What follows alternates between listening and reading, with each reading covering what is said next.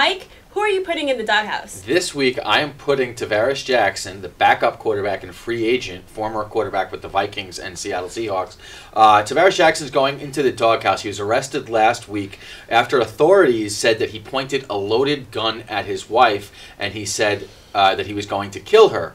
Um, she said to him that I hope you have better accuracy with that gun than you have on that football field. Um, so she was not playing around herself, but I'm putting him on the bench. What's your guys' take on Tarvaris Jackson's incident last He's week? com- completely out of line. Completely out of line. I'm like so annoyed and irritated about hearing these stories about these players with these opportunities just doing stupid things like this to, you know, just not only does it diminish their character, but it just says who they are behind closed doors. It says that, you know, there's so much more to athletes than just this facade that's put onto them. You know, everybody sees the athletes as heroes and they just go ahead and keep showing their true colors, which is good because it, you know, it brings awareness to us, but it's just like, what are you thinking? You have these opportunities. Why are you try- not trying to be a better person? And people who do things like this, it shows that they have this history. Like it's not just one day you wake up, you're like, I'm gonna, I'm gonna go point a gun at my wife. What has he been doing in the past? You know, it's it's scary. It, it just is completely out of line.